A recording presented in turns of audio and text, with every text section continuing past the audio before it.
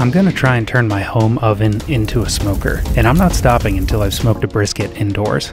You see, I love barbecue, brisket, pulled pork, you name it, I love it. I also love cold smoked mozzarella, cheddar, even salmon. But I live in an apartment with no outdoor space, so I can't just buy a smoker. But for the past few weeks, I've been eyeing up my oven. Do you really think your subscribers want this? Mean, you got this vent thing that basically makes you built to be a smoker. I think I can use that to make a smoker that works great, isn't expensive, and doesn't burn my apartment to the ground. So after quickly cleaning my oven, turns out this was not quick. It took four hours. It's time to get to work. You can't make a smoker without smoke. To make matters more difficult, I want to smoke brisket, but I also want to cold smoke salmon, so the oven can't be the only heat source. Time for a build montage.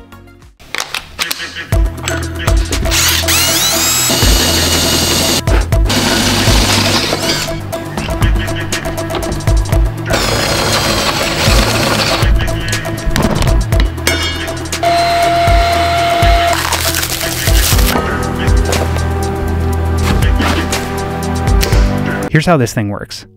Wood chunks go into this cast iron pan.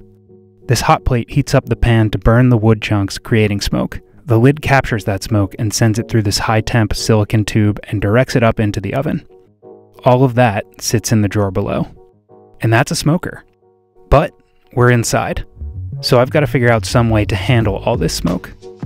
Unfortunately, I can't just send it out the window because it will come right back inside and fill up my neighbors' apartments and they already don't like me. So I'm going to build a filter system. By the way, most of the stuff I use to build this will be linked in the description below. To build my smoke filter, I'm using standard furnace filters and this cardboard box. I ripped off all this exterior cardboard before realizing that step was completely unnecessary. Next, I measured out and cut up pieces of the filter the same size as the box. Then I stuffed as many as I could comfortably fit into the box. I was able to get about 10 pieces in there. Seal up those seams with duct tape to prevent leaks. And cut out some holes in the end to allow smoke and air to flow through. I don't care if this thing is pretty.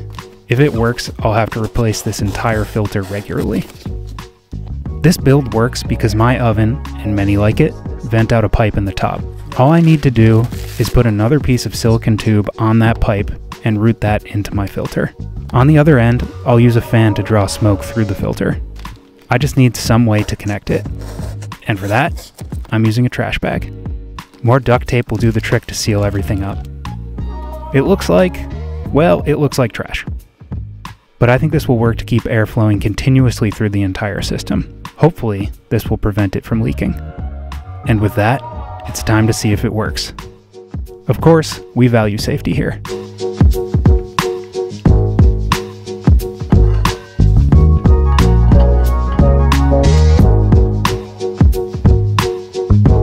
It works. Maybe too well. I've got smoke everywhere. I'm gonna try to seal up the pan with aluminum foil. Nope, doesn't work at all. Maybe some weights will keep things sealed. Good enough for now. Alright, let's cold smoke some cheese. After three hours in the smoker, I've got some issues. My entire apartment reeks of smoke.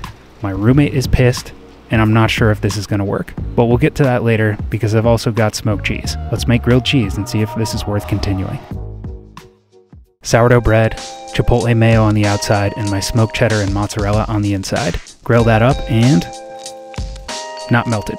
Let's try again. There we go. Much better that time. And oh yeah, that's good. The show must go on.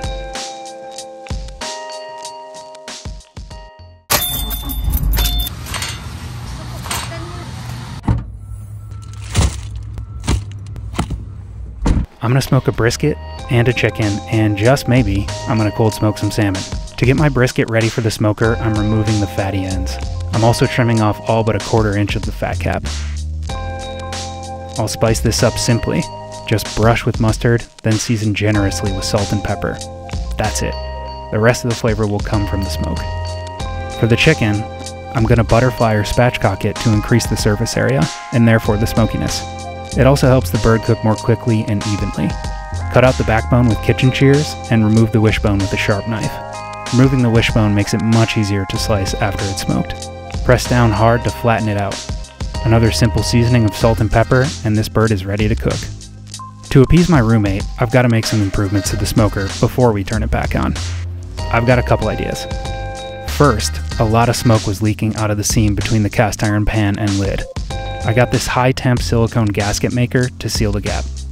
Apply a thin bead all the way around the lid and press it onto the pan. Immediately remove the lid or just skip that press it on part. I messed this up. It will seal the two parts together if you're not careful. I'm also sealing off the smoke outlet. This was leaking just a little bit on my last test. Next, my filter smells terrible. I'm definitely losing smoke straight through the cardboard sides. To fix that, I'm just gonna layer on some duct tape. Easy. And now, the moment you've all been waiting for.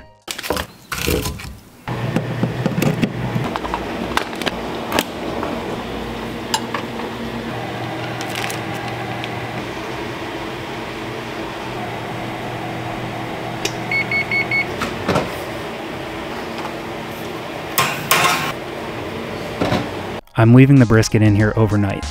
I'll be back in about 10 hours to see how it's doing.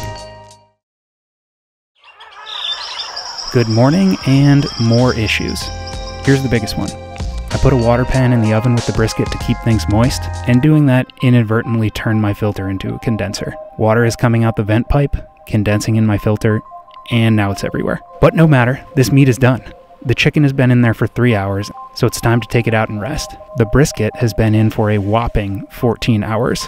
Final temperature is 203. After a 10 minute rest, let's slice up that chicken and give it a try.